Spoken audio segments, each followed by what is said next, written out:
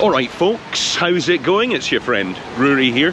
And today I thought, well, first of all I'm in Palma, Majorca. Alright, this is not Edinburgh as you can tell by my attire. I'm going to take you for a little walk, I think, along Las Ramblas towards Passeig des Born. Okay, I hope you appreciate my, my Catalan pronunciation there. But we're going to walk from this fountain on Las Ramblas at the end and we're going to walk to the fountain at the end of Born. Okay, and I'm going to just talk complete rubbish along the way. You're not getting any editing in this, all right? Because I can't be bothered. I'd thought about doing some live streams, you know? But at the same time, I'm a bit worried about what I'm going to say. I might say something terrible, and then it's just out there forever. So I quite like the idea of doing a live stream, but without the liveness. So I thought this was a kind of halfway house, you know, a compromise. Anyway, I'll stop talking about that. As you can see, we're walking, we're off. This duo of streets are two of the main streets in Palma and two of my favourite lovely flower shops here in Las Ramblas. It's famous for florists along here and uh, as you'll find all the way along these two streets they're beautifully tree lined look at me look at me from this angle which is most probably my worst angle.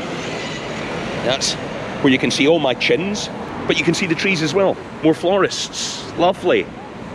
Come down here, pick up a bunch for a loved one perhaps. But yeah, I used to live very close to here actually. Well, relatively close. Up next to Plaza Mayor, and Las Ramblas is just a hop, skip and a jump away from Plaza Mayor, so I used to come down here all the time. I used to have an electric skateboard, which was fun to ride along here until I broke my foot. I fell off it, which was quite embarrassing and extremely sore. Fracturing your foot as a 40 year old man on an electric skateboard, it's a bit tragic. It's uh, what I now know as my third midlife crisis. So yeah, we're planning on not having a fourth one, by the way. No more electric skateboards for me. But it is a lovely, lovely area around here, as you can see. I'm sure many of you watching this video have been to Palma and know this area very well. It's also the site of a lot of events and things throughout the year. You can come down here at Christmas and there's lots of festive stalls. You can get your churros with, uh, with hot chocolate. I was actually just talking to Kiki, my partner, who's Spanish, about hot chocolate the other night. And when she first moved to the UK, she was absolutely appalled that the hot chocolate that we drink, which is kind of powder and then milk and then heated up in a microwave or whatever, she was appalled that we call that hot chocolate because hot chocolate in Spain is very thick. It's like a thick, dark chocolate soup, very high quality. We do not do high quality hot chocolate in the UK apparently. I'm going to move away from this cleaning vehicle and I'm going to swap arms again because I'm extremely weak. This camera must weigh about four grams and I can only hold it up for about a minute. Pathetic. Need to get back to the gym. There's a couple of nice places along here actually that I should have probably mentioned instead of waffling complete rubbish. There's a nice little plaza along here. It's just past this iglesia, this church, uh, that you'll find on the right hand side if you're heading up Las Ramblas. There's a nice little plaza that I can't remember the name of with a very nice cafe at the back. If you're into your posh coffee and nice tostadas and all that kind of stuff, I highly recommend that cafe. What I'll do is I'll stick a link to anywhere that I mention and also do not mention in this video because I've not prepared anything, you know, I'm just ambling along here at my own pace. So yeah, we're coming to the end of Las Ramblas already. I mean, that was only a short five minute walk. This brutalist sculpture here made out of raw concrete. Not entirely sure what it is. Uh, but yeah, you know, that's art. It's very subjective, isn't it? That looks to me like um, they've just removed it from a building site and just dumped it. But anyway, I'm a Philistine, what can I say? Switching arms again. My God, I really need to go back to the gym. That's appalling. We've got the back of Plaza Mayor up there and this horrible Centro Comercial, which thankfully is completely closed. I don't know if you've been in Plaza Mayor in the past to, uh, sorry about the construction noises, we're in Spain. There's two sounds you hear in Spain, all right? That's German accents and construction noises. That is the modern sound of Spain. As I was saying, I don't know if you've been in to the to the underground shopping arcade, which is a really glamorous way to put it, up in Plaza Mayor over the years. It's closed now, but it was truly one of the most disgraceful shopping centres I think I've ever seen. It reminded me of a set from a horror film. You could imagine being chased around there by a psychopath with a chainsaw. If you watch my Palma guide video, part one, I think, I went in there, had a wee poke around and said some pretty disparaging things about it in that video. This is a nice plaza here, a nice little placita. And good coffee there, Mistral. And even better, one of our favourite bars, if not our favourite bar, I think it is our favourite bar in Palma, La Rosa, which is a, a vermuteria actually, where you can go and sample all manner of delectable vermouths. I have made a video about vermouth on the channel, you can check that out, and we go to La Rosa. Things are starting to get a bit more up market. That's what happens here in uh, this section. We go from Las Ramblas, where, you know, there's a few shops, but a lot of terrace cafes. Um, and now we're coming into the posh part of Palma, where you're going to see upmarket brands like Rolex and Louis Vuitton and that kind of stuff. I thought I would just bring you over here to Carolina Herrera, with this amazing building here, which if you've been to Palma, I'm sure you've seen many times. Pretty cool looking architecture. This is modernist art nouveau, uh, and that accounts for why it's all kind of a bit weird and a bit dreamlike. Also great bars over there. I, I should have probably taken you that way, but I'm going to try and stick to the road. We've got Gibson Bar, which is a famous uh, cocktail bar here, which is great. I love to hang out there at the terrace. There's also another bar next door, which is quite nice, but Gibson's my favourite. Nice toilets as well. I like a good toilet in a bar, and Gibson does it. Now, this place, I couldn't come down here without stopping in front of Alaska. Not quite open yet. This is a very famous hamburger kiosk here. Uh, I'm not entirely sure how high quality the burgers are. I don't think that's the point though. But it's just a fantastic place. It's not even particularly cheap either, which is kind of surprising. You're like, the burgers are maybe kind of not the best quality, and it's quite expensive. But there's just some real charm about Alaska Hamburgueseria. If you are in Palma and you're wandering around and you'd like to bump into me, there's about a 66% chance that I will be standing at the bar of the Alaska hamburger kiosk, drinking way too much beer and eating too many chips. Bimba Lola, famous Spanish shop. Ladies can't get enough of Bimba Lola. A nice place to go and pick up somebody a gift. Maybe your uh, wife or girlfriend likes handbags. Bimba y Lola handbags. It's a pretty good purchase, to be honest. Now we are approaching the famous I don't know, the end of Passeig des Born, or as I call it, the C&A corner, C&A over there. A shop in the UK from the 1980s, but still in pride of place here in Palma. I mean, I've not been into a C&A in the UK since I was about nine. Oh Christ, got a bit close to that security guard there, I hope. She didn't think I was going to try and smack her over the head with the camera. That would have been horrible right in the middle of the video, eh? For me to be battened to death on the ground here at C&A Corner. Anyway, as I was saying, I've not been into C&A for years, decades. And they just got this massive one here. I mean, it's, it's, it's quite a throwback for a British person to see a C&A. Great place here, an iconic place, Bar Bosch where I highly recommend you come. It's very hard sometimes to get a seat because it's so busy. They do have a massive terrace though. And at Bar Bosch, I would highly recommend that you get a coffee and a llonguet. Now a llonguet is a traditional Mallorquin sandwich, a bocadillo, but with this very particular kind of bread, which is lovely toasted. I like to have a tuna llonguet, a bit of a uh, sort of tomato passata on it, a bit of fresh tomato, olive oil, tuna on a toasted llonguet, cup of coffee, maybe a glass of wine, don't tell anyone, and you're gonna have a whale of a time. It's just great people watching as well. It's lovely just to hang out there I could sit there for hours, just staring at people like a creep.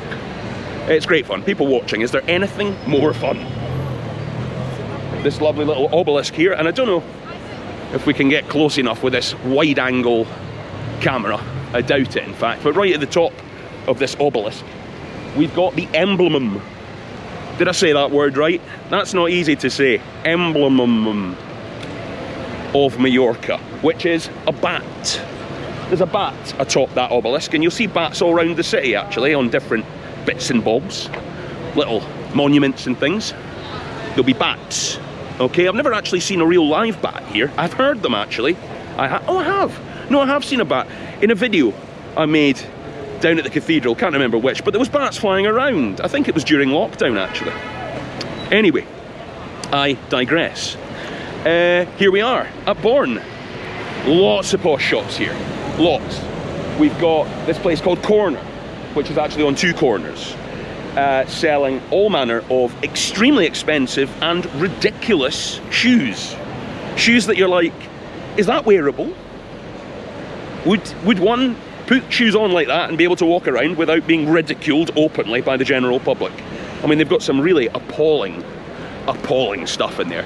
And, you know, two grand, you know, a thousand euros per stupid shoe. Uh, so corner, if you're the kind of person that likes to buy stupid stuff because you've got too much money and no taste, that's the place for you. We've got these really cool, uh, what would you call them? It's kind of like bookends to the street, really, with these freaky, uh, well, I don't know what that is. What, what do you call it when there's an animal mixed with a human? Whatever, Google it. Uh, so it's like, a, I think, a lion mixed with a lady an effeminate man with a kind of Egyptian headpiece on. We've got these lovely uh, flower pots here, as you can see, beautiful. And these amazing trees, which I think are maybe birches. Is this a birch tree enthusiast? Please put me right in the comments. These really cool trees with these amazing kind of flaking trunks. They remind me of a, a paint by numbers painting. You know what I mean?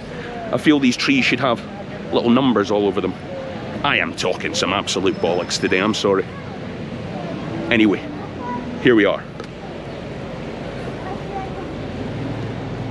In Born. Born actually means, it's a word that you'll see in Spain all the time. And Born is actually a word that designates a place for games. So this would actually, back in the olden days, in the medieval days, there'd have been jousting here jousting. Instead, now it's just people having cafe con leches, you know? Much more civilized and less deadly. Unless, of course, somebody poisons your cafe con leche. Um, Bulgari, Breitling, Zara. You know, the three brands go together, don't they? Bulgari, Breitling, Zara. Nothing but the best on Passeig des Born. Multiópticas for all your sunglasses and reading glasses needs. Caixa Bank, my bank, good bank, like them. They've got yellow bank cards, which I like. I often like to pretend I'm a referee at a football match with my uh, my Caixa Bank card and just hold it up uh, and send people to the side from wherever. Right, enough.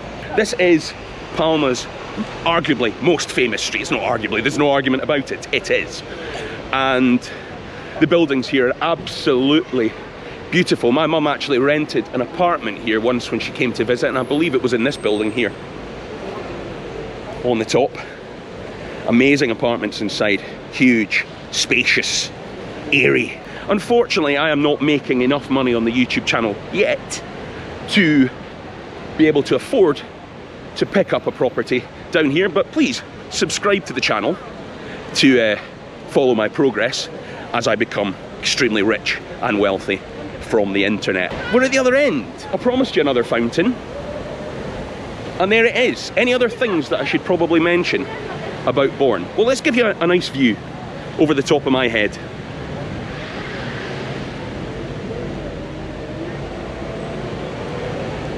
It's a cracking street, and actually at Christmas, this is lit up really nicely. You get a lot of lovely lighting displays going on here across the trees, and they've got various bits and bobs It's very, very festive, very lovely. I highly recommend you come down at Christmas. Uh, the beach is a bit crap then, all right, it's freezing. There won't be much beaching for you, but it's a lovely place to spend Christmas is Palma, lots going on. And what I'll do now is just try and get us across to this fountain without being run over, which I think will be a challenge. Just passing here, the bus stop, and actually just beyond the trees there, you can see the edge of the cathedral. I promise you it's there. It's up there somewhere. We've got some lovely gardens. And my favourite thing about coming to this fountain area is that you start to smell the shit from the, from the horses. You can start to smell the manure from the, the horses and carts that ferry tourists around. Can we get across to this? Maybe not, maybe it's not a great idea. There's the fountain anyway. It's lovely, isn't it? Charming. Not always turned on, but turned on now. And this is a very famous scene here in Palma, isn't it? You know this. You know this scene. And from here, that's the sea. You can head that way to Palma Marina and salivate looking at other people's yachts. Uh, disgraceful amounts of money stored in Palma Marina.